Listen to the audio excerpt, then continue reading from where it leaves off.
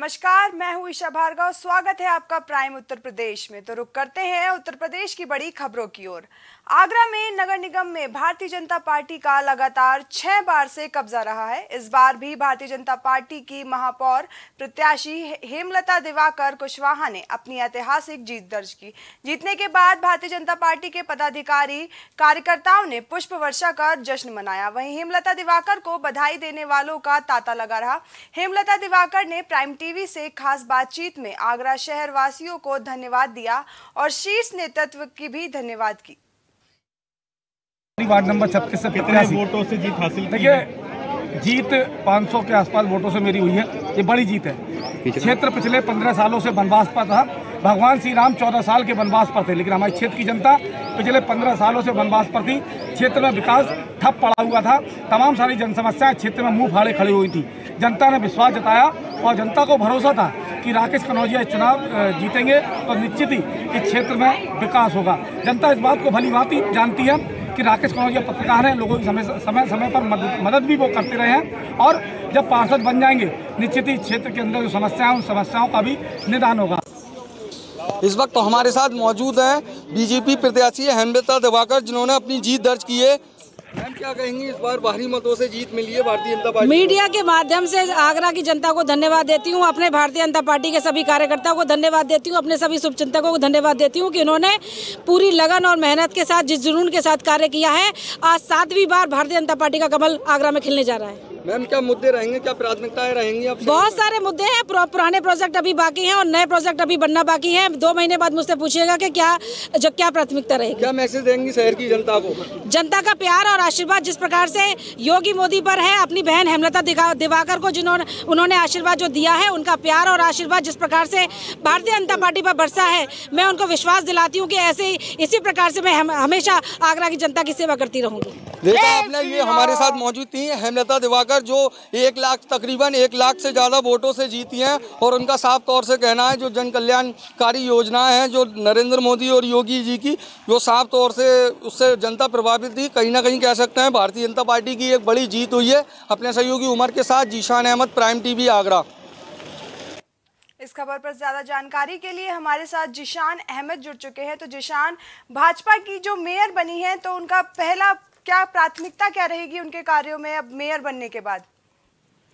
देखिए, बिल्कुल मैं आपको बता दूँ, जो आगरा महापौर बनी है, हेमलता दिवाकर, वो आगरा ग्रामीण से पहले विधायक भी रह चुकी हैं। विधायक के बाद उनका 2022 में विधानसभा चुनाव में टिकट कट गया था, फिर उसके बाद उनको मेयर प्रत्याशी बनाया गया।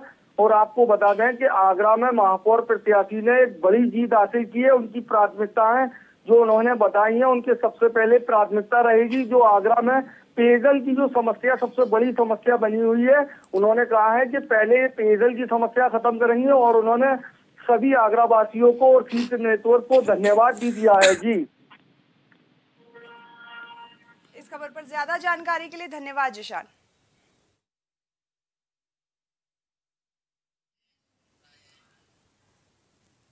वहीं अंबेडकर नगर में जिला अधिकारी के आदेशों की खुलेआम धजिया उड़ रही है। बताते चले कि डीएम के आदेशों को दरकिनार करते हुए जुलूस और पत्थरबाजी की गई। बताते चले कि नगर पंचायत इल्तिफातगंज सपा से शमा परवीन ने जीत दर्ज की, जिस जीत के बाद जुलूस निकालकर हारे हुए भाजपा के प्रत्याशी के घर पर हंगामा भी काटा। सपा के अध्यक्ष समा परवीन के समर्थक द्वारा हारे प्रत्याशी भाजपा से रेणु देवी के घर पर पत्थरबाजी की गई। पूरी घटना सीसीटीवी कैमरे में कैद हो गई है। हंगामा करने वाले एक दर्जन से अधिक लोग जेल में बंद कर दिए गए हैं। वहीं घटनास्थल पर अर्धसैनिक बल समेत स्थानीय पुलिस मौजूद रही। पुलिस पूरे मामले में जाँच पड़ताल कर रही है। वही पूरा मामला इब्राहिमपुर थाना क्षेत्र नगर पंचायत इल्तिफातगंज का बताया जा रहा है। नगर निकाय चुनाव का मतगणना कल संपन्न हुआ। कई प्रत्याशी, अध्यक्ष पद के प्रत्याशी जो है वो विजय प्राप्त किए। इस समय हम इब्राहिमपुर थाना अंतर्गत टाउन एरिया इल्फातगंज में मौजूद हैं। यहाँ कल बीती रात में विजय जीत करने के बाद सपा कैंडिडेट की जो समा परवीन है, उनके द्वारा जुलूस निकाला निकाला गया। जबकि जिला अधिकारी अविनाश सिंह का सख्त हिदायत था कि जीतने के बाद कोई भी जिला जुलूस नहीं निकाला जाएगा। और जुलूस ही नहीं निकाला गया, यहाँ तक कि भी बात खबरें निकलकर सामने आ रही हैं कि पत्थरबाजी भी हुई, हारे हुए प्रत्याशी जो भाजपा के हैं, रेणु देवी हैं, उनके घर पर पत्थरबाजी हुई। यहाँ तक नहीं, मंदिर परिसर का जो वायरिंग वायरिंग है, उसको भी, और सारा जो घटनाक्रम हो, वो सीसीटीवी में कैद है। ऐसे में धारा 144 भी लोग धारा 144 भी लागू है। कैमरा पर्सन से कहना चाहेंगे कि यहाँ का वो चारों तरफ़ का वो नज़ारा दिखाया आखिर आखिर किस तरीके से कि यहाँ अर्धसैनिक बल समेत लोकल पुलिस और स्थानीय पुलिस मौजूद है, सुरक्षा व्यवस्था चाक चौबंद है और कुछ लोगों को गिरफ्तारियाँ भी की गई, जो उपद्रव किए हैं, जुलूस निकाल करके पत्थरबाजी किए हैं। हमारे साथ यहाँ पर कुछ स्थानीय लोग भी हैं, नगर पंचायत इल्फातगंज से हम इनसे भी जानना चाहेंगे। कल बीती रात में क्या, कुछ, कैसे, क्या पूरा मामला है? पूरा मामला बताएँ। हम सरकार से अनुरोध करना चाहते हैं कि इसमें उचित कार्रवाई किया जाए। इन लोगों ने जीत में होश खो बैठे। क्या मांग है आपकी? पत्थरबाजी भी हुई हारे हुए प्रत्याशी जो कैंडिडेट है रेणु वर्मा के घर पत्थरबाजी हुई मंदिर परिसर में भी केबल ओबल खींचा गया। क्या मांग क्या क्या मांग करते हैं आप? इसमें सरकार को चाहिए उचित कार्रवाई किया जाए जिसके वजह से इन लोगों का मनोबल गिरे नहीं तो हमेशा ऐसे करते रहेंगे।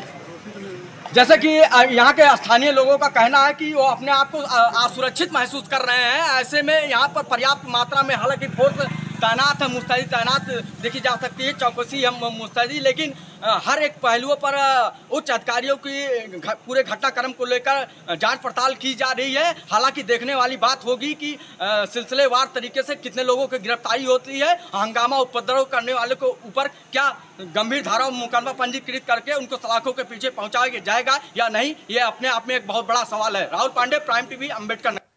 तो इस खबर पर ज़्यादा जानकारी के लिए हमारे साथ राहुल पांडे जुड़ चुके हैं। तो राहुल, जबकि प्रशासन की तरफ़ से जुलूस निकालने को लेकर पूरी तरह से प्रतिबंध लगा दिया गया था, उसके बाद भी इतनी बड़ी लापरवाही सामने आई है। क्या कुछ कदम उठा रही है प्रशासन? जी, आपको जानकारी के लिए बता दें कि एहतियातन रूप में जिला अधिकारी ने नगर निकाय चुनाव मतगणना होने से पहले ही एहतियातन रूप में बता दिया था कि कोई भी ज़िले में जुलूस नहीं निकलेगा। जिनको मान जिनकी आदेशों की खुलेआम धज्जियाँ उड़ाई गई और धज्जियाँ ही नहीं उड़ाई गई यहाँ तक कि मंदिर परिसर, जो रामलीला ग्राउंड है, जैसे कि तस्वीरों में भी साफ़ देखा जा सकता है, आखिर किस तरीके के से जो सपा के सपा के नगर नगर इल्फात इल्फातगंज के जो अध्यक्ष मौजूदा मौजूदा में हैं समा समा परवीन समा परवीन जिनके द्वारा समर्थकों द्वारा किस तरीके से उपद्रव किया जा रहा है जो हारे हुए प्रत्याशी है रेणु देवी के घर पत्थरबाजी किया जा, जा रहा तस्वीरों में साफ़ देखा जा सकता है। ये पूरे पूरे तरीके से एक शब्दों में कहें तो ये माहौल बिगाड़ने का कहीं न कहीं पूरा काम किया गया है। इसमें अगर कहीं न कहीं देखें तो जिला अधिकारी के आदेशों का कोई भी मतलब असर होता नहीं दिख दिखाई पड़ रहा है। जी और जी यही वजह है कि जी पूरे जी जो नगर के जो कार्यकर्ता गिरफ़्तार हुए हैं उनमें से किन किन का नाम अभी तक सामने आया है? जैसे कि सोलह लोगों की गिरफ्तारी हो हो चुकी है जो सलाखों के पीछे है। अन्य लोगों को पुलिस का दावा है कि अन्य लोगों के ऊपर भी नकेल कसी जाएगी। पुलिस छापेमारी कर रही लेकिन आपके जानकारी के लिए सबसे अहम चीज़ बता दें जो मौजूदा में अध्यक्ष हैं मौजूदा में जो अध्यक्ष हैं ऐसे में पच्चीस लोगों की नामजद एफ़ आई आर हुई है एक हज़ार अज्ञात व्यक्तियों के खिलाफ हुई है और सबसे बड़ी। अहम बात है कि पूर्व कैबिनेट मंत्री और इस खबर पर ज़्यादा जानकारी के लिए धन्यवाद राहुल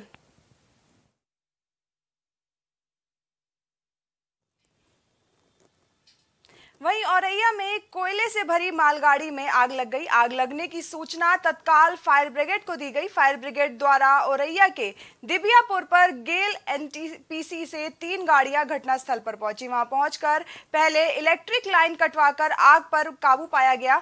वहीं जानहानि फायर ब्रिगेड द्वारा आग पर काबू पाया गया। दिनांक तेरह पाँच को रात्रि में ग्यारह बजे के लगभग एक सूचना प्राप्त होती है। एक मालगाड़ी है जो दिव्यापुर रेलवे स्टेशन पर खड़ी हुई है। उसमें कोयला भरा हुआ है। कोयले के एक वैगन में आग लगी हुई है। तो शहर से एक फायर टेंडर और एक गेल पाता और एक एनटीपीसी से तीन फायर टेंडर के साथ मौके पर पहुँचे और आग को पूर्ण रूप से बुझा दिया गया। ज्ञात हुआ कि ये गाड़ी जो है, दीनदयाल उपाध्याय रेलवे स्टेशन मुगल सराय से आ रही थी और तुगलकाबाद जा रही थी। तो फ़िलहाल इसमें कोई जनहानि नहीं है। सब सामान्य आग को पूर्ण रूप से बुझा दिया गया मालगाड़ी दीनदयाल से चलकर तुगलकाबाद जा रही थी। वही अचानक औरिया जनपद के दिव्यापुर स्टेशन के पास मालगाड़ी के एक कोयले से लदी बोगी में आग लग जाती, जिसकी सूचना औरिया फायर ब्रिगेड को दी जाती। सूचना पा के ही औरिया फायर ब्रिगेड के अधिकारी तेजवीर सिंह व उनकी टीम द्वारा आग को बुझाने का पूरा प्रयास किया जाता है। वहीं आग भड़कने पर फायर ब्रिगेड के अधिकारियों द्वारा दिव्यापुर एनटीपीसी को सूचना दी गई। सूचना पाकर पहुँची एनटीपीसी की गाड़ी व औरिया की फायर ब्रिगेड की गाड़ी ने मिलकर आग पर काबू पाया। प्राइम टीवी के लिए जायद तक रिपोर्ट, औरिया।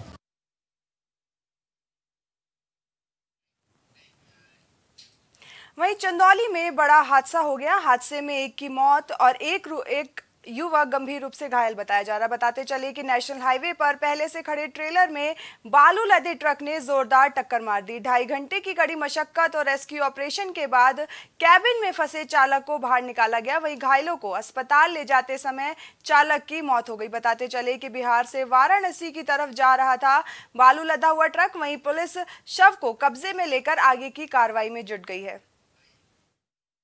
क्या नाम है आपका? कहाँ के रहने वाले हैं प्रमोद? अच्छा। और कैसे अभी जो दुर्घटना हुआ है कैसे हुआ है? तो चला रहे थे हम तो सो रहे थे पीछे। क्या आप क्या है? ट्रक में क्या करते हैं? करते हैं। अच्छा कौन चला रहे थे? अच्छा तो फिर क्या हुआ? कैसे एक्सीडेंट हुआ था? मैंने देखा नहीं तो। अच्छा आप सो रहे थे?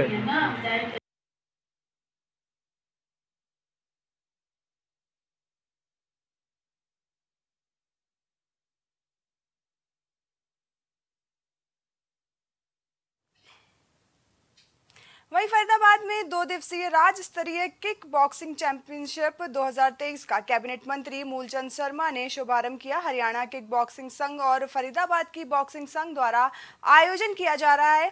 प्रदेश के 500 खिलाड़ी इस प्रतियोगिता में भाग ले रहे हैं। विभिन्न भा, भाग वर्ग में खिलाड़ी रिंग में अपने खेल के जौहर दिखाएँगे। चैंपियनशिप के दौरान मेरिट के आधार पर आगामी नेशनल क्विक बॉक्सिंग चैंपियनशिप 2023 का चयन किया जाएगा। बताते चले कि बतौर मुख्य अतिथि पहुँचे कैबिनेट मंत्री मूलचंद शर्मा ने।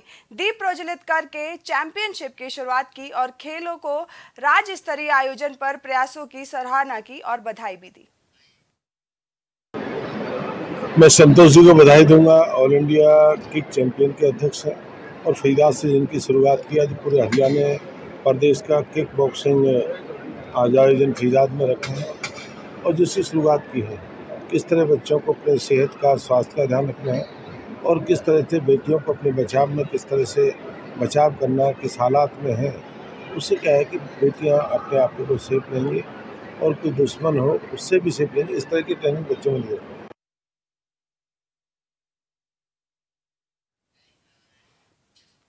वहीं श्रद्धालुओं के लिए एक बड़ी खुशखबरी सामने आई है। बता दें कि फतेहपुर ज़िले में विश्व का सबसे ऊँचा 108 फीट का माँ गंगा का मंदिर बनने जा रहा है, जिसके भूमि पूजन के लिए भारत सरकार के कैबिनेट मंत्री डॉक्टर महेंद्र नाथ पांडे और डिप्टी सीएम ब्रजेश पाठक के साथ कैबिनेट मंत्री स्वतंत्र देव सिंह और मुख्य सचिव दुर्गा शंकर मिश्रा कल महारिषि भ्रगु की तपोस्थली भिटोरा पहुंचकर भूमि पूजन करेंगे। भृगु मुनि की तपोभूमि को विश्व पटल पर पहचान दिलाने के लिए रेवतांचल ट्रस्ट की ओर से इस कार्यक्रम का आयोजन किया जा रहा है। कल मुनि की तपोस्थली भिटौरा में संकल्प सिद्ध धाम के नाम से यहाँ बहुत बड़ा एक मंदिर का निर्माण किया जा रहा है, जहाँ पे बच्चों के लिए संस्कृत विद्यालय की व्यवस्था की जा रही है। गुजरात कैडर के आई श्री पांडे जी द्वारा ये बहुत बड़ा काम किया जा रहा है। तो निश्चित रूप से फतेहपुर जनपद के लिए और खासकर पिटौरा के लिए एक बहुत दूरगामी योजना साबित होगी, इससे यहाँ के क्षेत्र के लोग लाभान्वित होंगे, फतेहपुर जनपद लाभान्वित होगा, जो कितना बड़ा मंदिर का निर्माण कार्य होने जा रहा है। जो कहीं ना कहीं फतेहपुर जनपद के पर्यटन के में जो हमारे यहाँ एक इसका भाव रहता है, उसकी पूर्ति होगी। लोग यहाँ पर आएँगे, इतना भव्य मंदिर देखने आएँगे। गंगा जी की नीचे का स्थल है, गंगा जी के पास के मंदिर बन रहा है। और बहुत सिद्ध मंदिर का निर्माण यहाँ हो रहा है। इसके लिए मैं पांडे जी को बहुत बहुत धन्यवाद देता हूँ। वहीं नगर निकाय चुनाव के परिणामों के साथ ही कर्नाटक राज्य का परिणाम भी घोषित हो चुका है। कर्नाटक में कांग्रेस पार्टी ने अपनी सरकार बनाकर विजय प्राप्त की। इस सिलसिले के ताल्लुक से जिला संभल असमौली विधानसभा क्षेत्र से पूर्व कांग्रेस प्रत्याशी हाजी मगरूब अहमद ने अपने समर्थकों और कांग्रेस कार्यकर्ताओं के साथ कर्नाटक की जीत का जश्न मनाया। एक दूसरे को मिठाई खिलाकर मुबारकबाद भी दी। मीडिया से बातचीत करते हुए कहा कि हम कर्नाटक की जनता को बहुत बहुत मुबारकबाद पेश करते हैं जिन्होंने भारतीय जनता पार्टी की सरकार को उखाड़ फेंका और कांग्रेस को सरकार बनाने का मौका दिया। वहाँ की वही जनता बदलाव चाहती थी और उन्होंने सत्ता में परिवर्तन किया। ये हम जो है कर्नाटका में हमारी कांग्रेस की सरकार बनी है उसकी खुशी में उसमें हम मिठाई लोगों को खिला करके खुशी का इजहार ज़ाहिर कर रहे हैं। हमें बहुत बड़ी खुशी है जो कर्नाटका जनता ने कांग्रेस को चुना और बीजेपी सरकार को वहाँ से उखाड़ के फेंका है। ये बहुत बड़ी हिम्मत और गर्व की बात है। सर, आप- राहुल जी कहते थे वहीं फरीदाबाद में कर्नाटक चुनाव को लेकर केंद्रीय राज्य मंत्री कृष्णपाल गुर्जर एक कार्यक्रम में शिरकत करने के लिए पहुँचे। वहाँ कार्यक्रम में कृष्णपाल गुर्जर बोले, हार की समीक्षा होगी। उन्होंने कहा कि 2024 में दुनिया की कोई भी ताकत प्रधानमंत्री नरेंद्र मोदी को बनने से नहीं रोक सकती। कांग्रेस चाहे कितना भी दुष्प्रचार कर ले, लेकिन 2024 में प्रधानमंत्री नरेंद्र मोदी ही बनेंगे। आइए देखते हैं कि क्या कुछ कहा उन्होंने। जो यहाँ सेक्टर सैंतीस में? क्या मुख्य आयोजन है देखिए आज यहाँ कपिल अपने बच्चे ने एक यहाँ जेनरिक दवाइयों का एक स्टोर यहाँ पर खोला दुकान खोला आज उसका उद्घाटन करने के लिए यहाँ सैंतीस सेक्टर की मार्केट में हम पहुँचे हैं। और देखिए देश के यशस्वी प्रधानमंत्री जी का ये संकल्प है कि इस देश में लोगों को सस्ती और अच्छी दवाइयाँ मिलें। ने आज इस महँगाई के युग में लोगों को इलाज कराना उसके बाद महँगी दवाइयाँ लेना उनकी पहुँच से बाहर था। तो दवाइयाँ आम आदमी की पहुँच में हों, इसलिए ऐसी जेनरिक दवाइयाँ पूरे देश में मोदी जी के स्टोर खोले गए हैं और प्राइवेट स्टोर खोल रहे हैं। वहीं अगली खबर गाजियाबाद से है, जहाँ दो कारों में सवार युवकों का वीडियो वायरल हो गया है, जिसमें रोड पर हुरदंग करते हुए नज़र आ रहे हैं। बताते चले कि ट्विटर पर पुलिस के अधिकारियों को टैग कर कार्रवाई की मांग की गई है। पुलिस जाँच कर कार्रवाई करने का दावा कर रही है।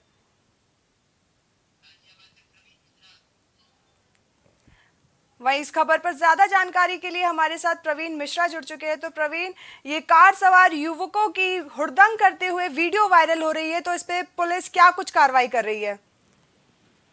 देखिए, आपको बता दूँ, गाजियाबाद में लगातार कई बार ऐसा देखा गया है कि जो हुड़दंगबाजी है, यानी कि जो रील बनाने वाले खासतौर पर हैं, उनको जरा भी कानून का या किसी प्रशासन का डर नहीं है।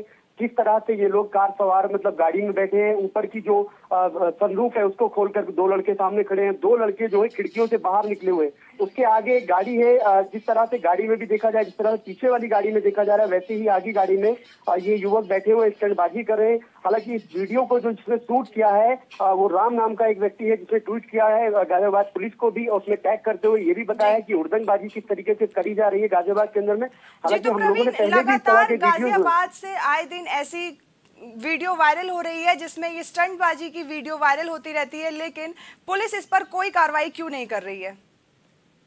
जी, बिल्कुल। देखिए, सबसे बड़ा सवाल क्या है कि जिस समय पहले एलिवेटेड पर जब सारे वीडियो वायरल हुआ करते थे, जिसके बाद मीडिया के हाथ में लगते थे, उसके बाद जब पुलिस इस पर संज्ञान लेती थी, हालाँकि तत्काल कार्रवाई होती थी, लेकिन कहीं ना कहीं थोड़े रसूखदार ये जिस तरह से गाड़ी आप देख रहे हैं, कितनी महँगी गाड़ी है बीएमडब्ल्यू है, यानी कि लग्जरी गाड़ी है, उसके आगे भी जो गाड़ी चल रही है, वो भी लग्जरी है। कह सकते हैं कि रसूखदार लोग हो सकते हैं, जिसके वजह से पुलिस अभी भी खाली ये जवाब दे रही है कि हम लोग इस पर उचित कार्रवाई करेंगे, लेकिन कार्रवाई अभी तक होते हुए नहीं दिख रही। हालाँकि वीडियो जो है ये कल का बताया जा रहा है। कल लगभग पाँच बज के तीस मिनट का ये वीडियो है। किसी व्यक्ति ने पीछे से शूट किया है उसके बाद इसे ट्वीट किया गया। लेकिन कहीं ना कहीं पुलिस की तरफ़ से जो अगर हम बात करें तो पुलिस की तरफ़ से कोई बड़ी कार्रवाई नहीं दिख रही। हालाँकि कई बार ऐसी रील वायरल हुई है लेकिन कहीं ना कहीं पुलिस एक्शन में आती है। उसके बाद उनके ऊपर कार्रवाई होती है। लेकिन कहीं ना कहीं ज़्यादा जानकारी के लिए धन्यवाद प्रवीण।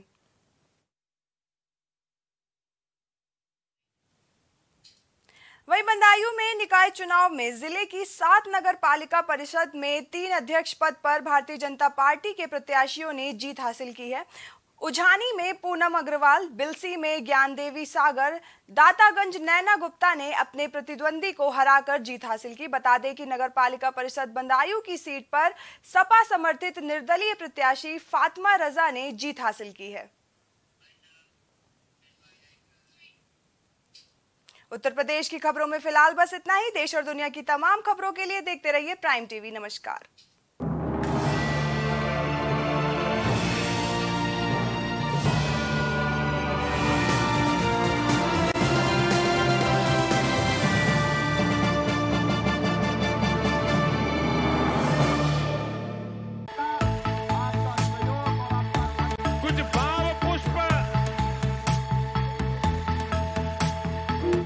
देख रहे हैं प्राइम टीवी सच साहस सरोकार